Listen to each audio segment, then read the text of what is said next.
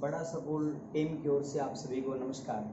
जैसे कि आपने पिछली वीडियोज़ में देखा होगा कि हम संधि के बारे में चर्चा कर रहे थे। आपने परिभाषा को अच्छी प्रकार से पढ़ लिया होगा, समझ लिया होगा। अब हम करते हैं कि संधि कितने प्रकार की होती है, या संधि के कितने भेद हैं। तो संधि कितने प्रकार की होती है? संधि के भेद।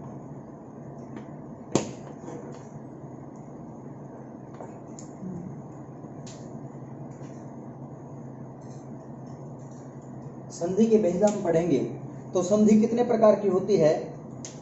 संधि तीन प्रकार की होती है। नंबर एक है सवर संधि। नंबर दो है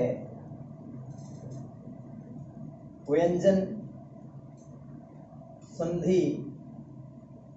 और नंबर तीन है विसर्ग संधि। अब हम बारी बारी से करेंगे। संधि के कितने भेद है? तीन सवर संधि, व्यंजन संधि, विसर्ग संधि। अब हम सबसे पहले करेंगे।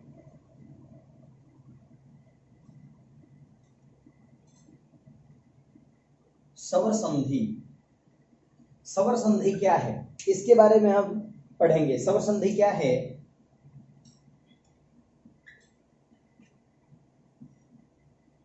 सवर के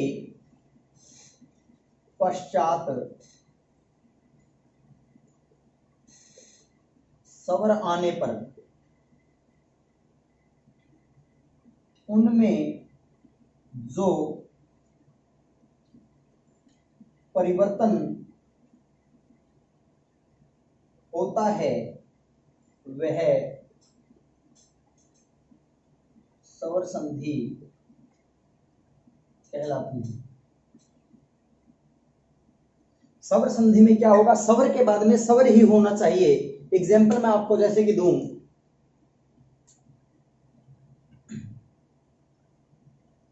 आप यहाँ देखें। हिम धन में आल्य। अब आपको पता है कि मैं में क्या है ए। जैसे कि अगर अलग अलग करेंगे तो मैं धन में ए क्या बन गया? आपको पता है, सभी व्यंजनों में सवर है, वो छुपा रहता है। सवर के मिलने के पश्चात ही व्यंजन पूर्ण होता है। मैं में ए है तो यहाँ क्या हो गया? ए है। इस मैं में जो ए है और आगे आ है, यानी कि यहाँ भी सवर है, यहाँ भी सवर है, दोनों के मिलने से क्या बन जाएगा? हिमालय।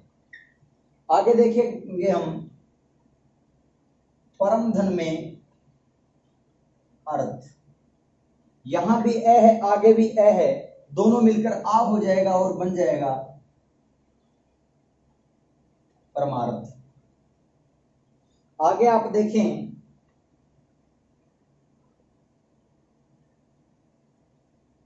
ने धन में अन।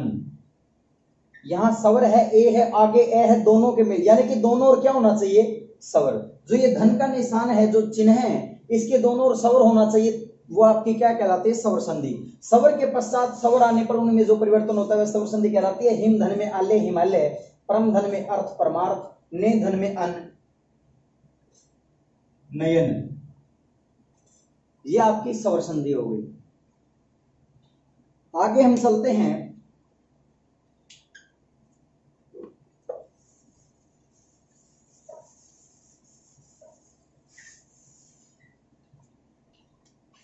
नंबर दो व्यंजन संधि।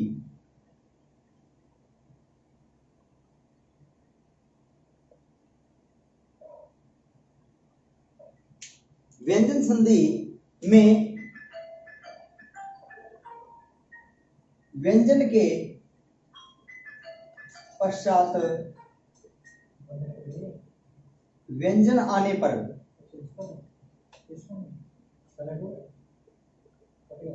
उनमें जो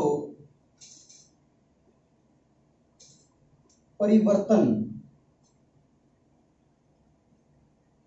होता है, उसे व्यंजन संधि कहते हैं। व्यंजन के पश्चात व्यंजन। मैंने ये ऐसे ही लिखा, लेकिन आपको मैं बारीकी से समझाऊँगा। यहाँ तीन केस हैं, देखे। यहाँ पर व्यंजन प्लस में व्यंजन हो सकता है। व्यंजन प्लस में सवर हो सकता है या फिर सवर प्लस में व्यंजन हो सकता है। इन तीनों ही स्थितियों में ये तीनों कंडीशन लागू होंगी। अगर पहले व्यंजन आ गया, फिर भी व्यंजन है तो व्यंजन संधि है। अगर पहले धन से पहले व्यंजन है, फिर सवर है तो भी वो व्यंजन संधि है। अगर पहले सवर है, बाद में व्यंजन है तो भी वो व्यंजन संधि है। अब मैं आपको तीनों के अलग अलग से उदाहरण एग्ज़ाम्पल देकर के आपको समझाऊँगा।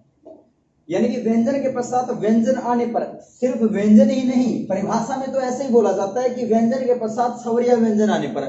लेकिन सच्चाई क्या है कि ज़रूरी नहीं है बाद में व्यंजन आए। पहले स्वर भी आ सकता है, व्यंजन बाद में भी आ सकता है, इस स्थिति में भी वो व्यंजन संधि होगी।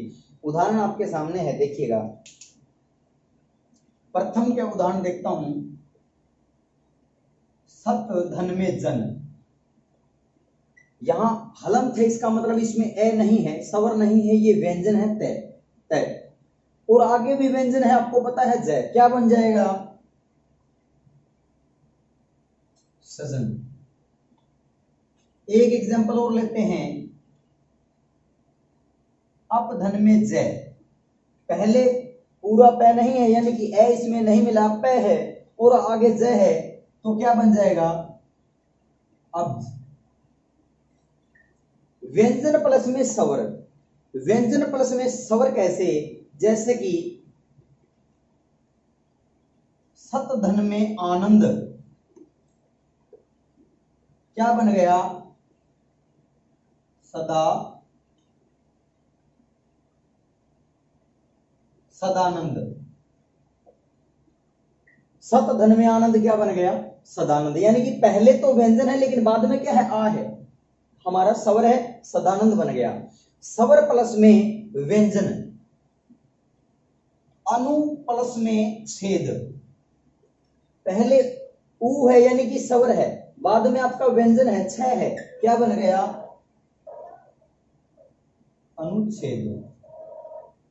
तो इस प्रकार से हम व्यंजन संधि किसे कहेंगे? व्यंजन के पश्चात सवर या व्यंजन आने पर उनमें जो विकार सहित मेल होता है या परिवर्तन होता है, उसे व्यंजन संधि कहते हैं। उदाहरण आपके सामने है। व्यंजन प्लस में व्यंजन हो तो भी आपका व्यंजन संधि जैसे अप धन में जय, अवध सत धन में जन सजन।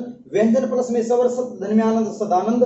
सवर प्लस में व्यंजन, अनुधन में छेद, अनुच्छेद। अब हम देखते हैं नेक्स्ट यानी कि विसर्ग संधि।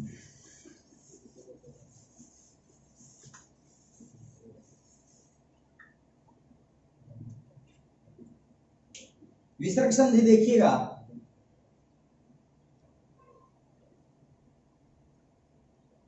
विसर्ग संधि में क्या होगा?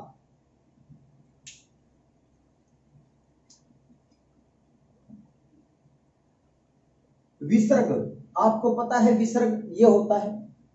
जैसे कि नाम है कोई, में संजय नाम है कोई तो इसके अगर विसर्ग लगा देंगे तो क्या बोला जाएगा इसे? संजय है। रमेश है, विसर्ग लगा देंगे रमेश है। यानी कि आपको पूछ ले, विसर्ग है वो किसकी ध्वनि देता है तो है कि। विसर्ग है, वो है की ध्वनि देता है। ठीक है? तो विसर्ग के पश्चात, विसर्ग के पश्चात सवर या व्यंजन आने पर आने पर उनमें जो विकार सहित मेल होता है या परिवर्तन होता है, वो क्या है? विसर्ग संधि। अब हम देखेंगे। यानी कि विसर्ग के पश्चात सवर या व्यंजन आने पर उनमें जो विकार सहित मेल होता है, उसे हम क्या कहेंगे? विसर्ग संधि। उदाहरण हम देखते हैं, जैसे कि मने धन में हर। क्या बन गया? मनोहर। निधन में बल, बराबर में निर्बल। निधन में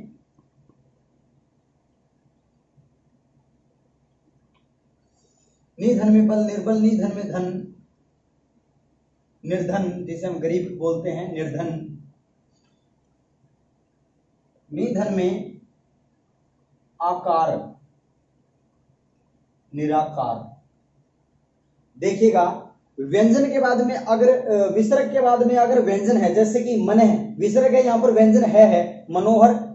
विसर्ग के बाद में ब है, निर्बल। विसर्ग के बाद में दय है, निर्धन।